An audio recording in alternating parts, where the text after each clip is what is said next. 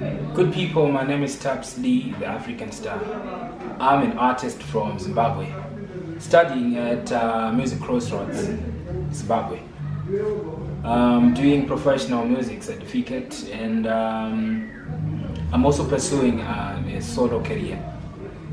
I sing gospel music, um, Afro fusion, and Chimurenga music. My art basically is to comment on on social matters. So I've released about eight songs and composed many since 2020.